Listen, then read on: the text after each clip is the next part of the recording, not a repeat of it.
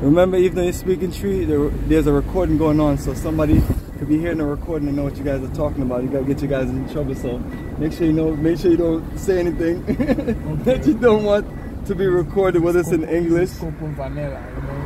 Uh, which, yes, family. So that's what I figure was in this area. So, family, this is one of the, the beautiful, exquisite nightclubs that we have hanged out and brought our tour members and groups to, which is Coco Vanilla. Beautiful location, family.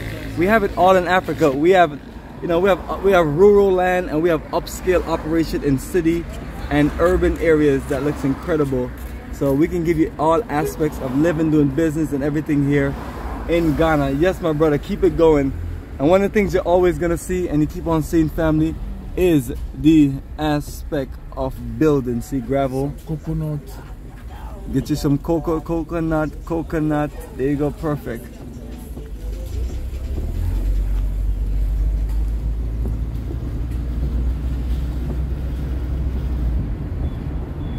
They also have an American and UK grocery shop, you know.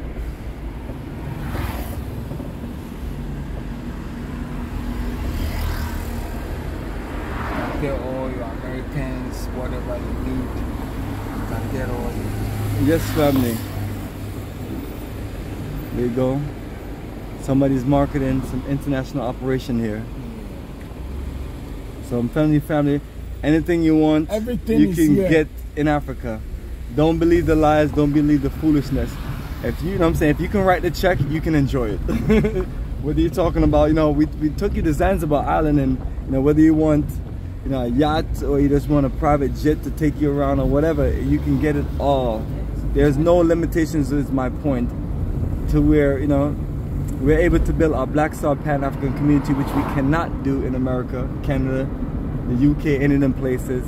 But we can do it here in Ghana because it's going to create a whole lot of opportunities in business for black folks here in Ghana. You know, and them other places I mentioned, they just going to be hating. You know what I'm saying? Know, you know, but it's what it is, family. We have to take care of our own and we have to do it together. There's no way around it. If you want to see your children survive and have a beautiful life and have a future, you better start working together and doing for each other because the other folks, the Chinese, the Indians, the Lebanese, they're playing world domination.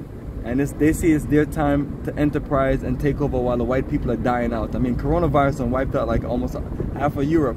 You know, it's like it's like one of those great plagues that that was meant to be to just, you know, kill wickedness and evil or just do whatever. You know, but it's what it is. Africa, we're here, we're strong, we have a young generation of beautiful children, and you know they deserve the best opportunities. So let's do it together. You know, that's the majority of percentage of our children in the black world is right here on this continent, right here in this continent, and all these beautiful countries to show you. So family, let's get it together. Let's get it together and create what we need to create. Let's not make excuses or give reasons. Know? Let's not let black devils and other wicked people stand in our way. You know, because at the end of the day, the only people that can stop us is, you know, look in the mirror and that's it. That's your enemy right there. You can be your enemy or you can be your friend. So let's be friends and build this together. You know? And for those who want to do what they need to do, you know, we have to stand strong to make sure that we don't let stupidity or evil, wicked people destroy our future. We were enslaved, we were stolen, we were colonized, we were used, abused. We've been through, there's no set of people, race of people, or any kind of people on this planet that have been treated like us here in the motherland, in the African land, in the black world period. All of us as black folks, there's no other people that have been through what we've been through, and we're still here and still strong. You know? So now it's that time. So as we're showing you around beautiful neighborhoods, and no family, it's not white people that own what I've been showing you, it's black people, mainly Ghanaians. Right, my brother? Yeah. And I'm not saying that there's no international business, because it is international business. But I want to let you know that, you know, you're talking about a country that has black-owned hotels, black-owned everything. So the difference is when you come here, you have to think about that. Make sure you support black-owned establishments. You know, whether you're in Atlanta, Georgia, you know, USA with me and my crew, with us together as a people, or what we're here in East Legon, the greater Accra area. It's all the same family. Let's build it together and let's build it strong.